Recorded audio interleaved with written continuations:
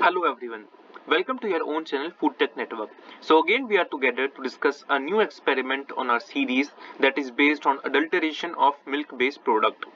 So without getting late let us begin this video. We all know that milk is one of the costly and complete food which is available in the market. It contains all the important attributes which a complete food should have. It contains carbohydrate that is lactose. In terms of protein, it has casein, lactalbumin and lactoglobulin. Also, it has fat and composed of around 64 different kinds of fatty acid. Vitamins and minerals and water are also prominent components of food. So why do we adulterate or not we? Why do milkmen or other such milk vendors adulterate milk with H2O2?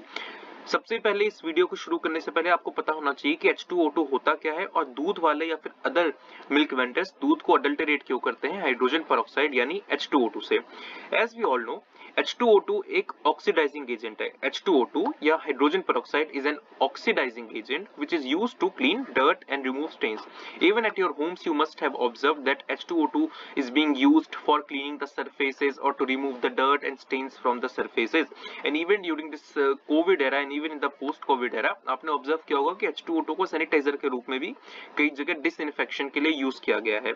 So so, हमें पता है कि H2O2 की एक peculiar property है कि चीज़ों को सैनिटाइज करता है इनकी सेल्फ लाइफ बढ़ाता है। एंड इसकी इसी प्रॉपर्टी को यूज़ करने के लिए हम मिल्क को अडल्टरेट करते हैं H2O2 से। लेकिन दिक्कत यह है कि H2O2 को यूज़ तो हम करते हैं मिल्क को प्रिजर्व करने के लिए और इसकी एक्सटेंड कर देते हैं हम शेल्फ लाइफ बहुत सारे दिनों तक। लेकिन दिक्कत यह है कि एच टू ओटो को जब हमारी बॉडी के अंदर हम भेजते हैं, बाहर अप्लाई करने में इशू नहीं है because even in cosmetic industry you use H two O but the problem is that when you intake it it poses major health threats and hazards and that is the reason why food safety and standards authority of India और F S S I has strictly prohibited such unlawful adulteration of H two O into milk so without getting late let's see how do we perform the detection of H two O in our milk so first of all we need to prepare the sample जैसा कि मैंने आपको अपने initial videos में भी बताया कि किसी भी टेस्ट को परफॉर्म करने से पहले हमें सैंपलिंग करनी ज़रूरी है। फ़ूड के सैंपल को तैयार करना एक बहुत इंपॉर्टेंट स्टेप है।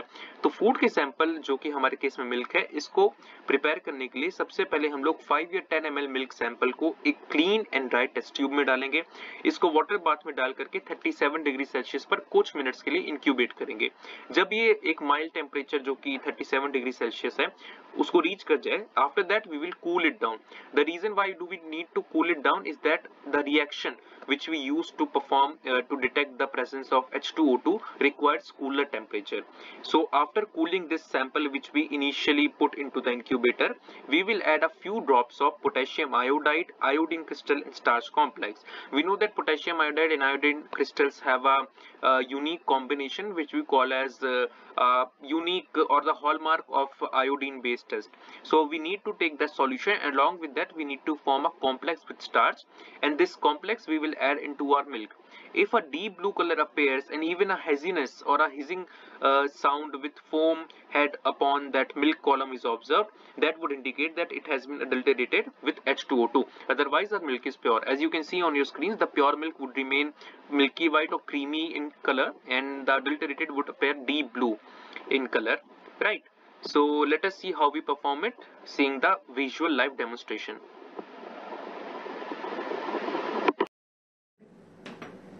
So let us see what all we need for our experiment that is determination of hydrogen peroxide in our milk sample.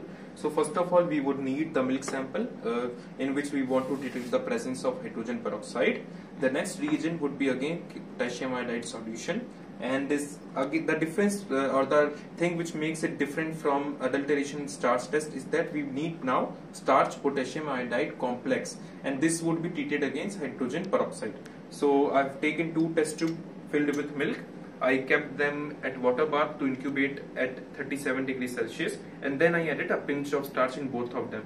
Now the one containing hydrogen peroxide which turn, uh, would turn blue in color and the one containing pure milk would not show any reaction. So let us drop the potassium iodide in it. So I am taking the first test tube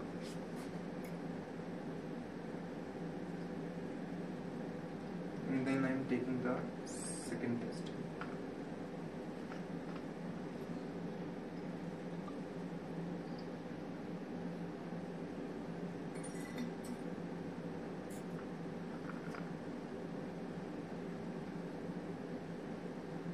We gently shake both of them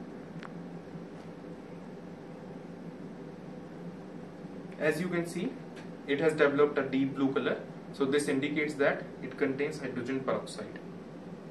At the bottom also one can observe a ring which is deep blue in color. So this was about our adulteration of hydrogen peroxide in milk test. Meet you in the next video